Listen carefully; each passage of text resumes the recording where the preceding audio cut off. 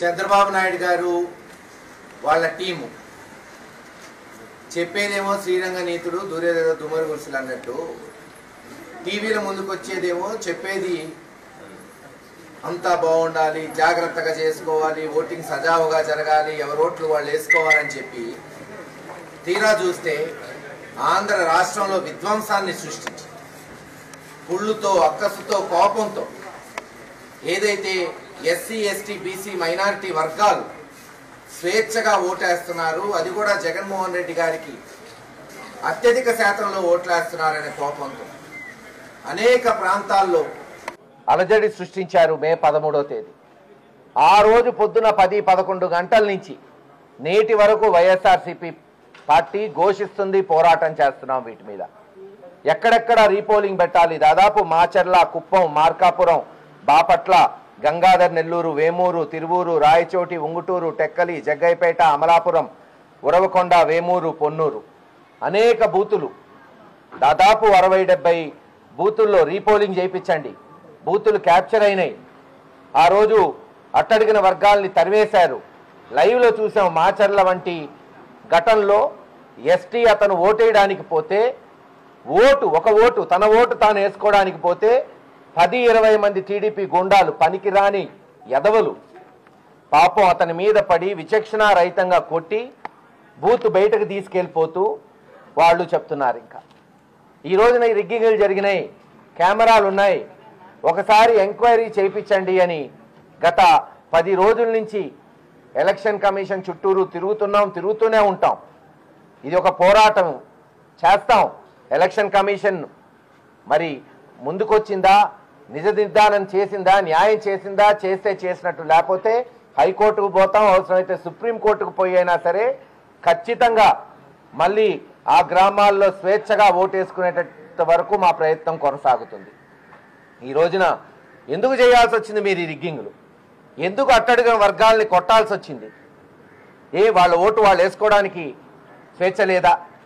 కొత్తగనేస్పాడు గ్రామంలో ఓటు వేసిన తర్వాత ఓటు వేసిన తర్వాత బీసీలకు చెందిన యాదవరాజులు కావచ్చు ఎస్టీలు కావచ్చు వాళ్ళ ఇళ్ళ మీదకు పోయి దాడులు చేసి వాళ్ళని గంగమ్మ గుడిలో బందీలుగా నిర్బంధించి ఆడవాళ్ళని. ఇరవై గంటలు మే పదమూడవ తేదీ ఆరు గంటల నుంచి సాయంత్రం మరుసటి రోజు రెండు గంటల వరకు వాళ్ళని నిర్బంధిస్తే కనీసం అక్కడున్న ఎస్పీ ఐజీ వాళ్ళని పలకరించడానికి కూడా పోలేదు. నేను పదిసార్లు చెప్పా కనీసం మీరు పోతే మా మనోధైర్యం ఉంటుంది. వాళ్ళకు భరోసా కల్పించండి. అంటే అది కూడా చేయలేకపోయారు.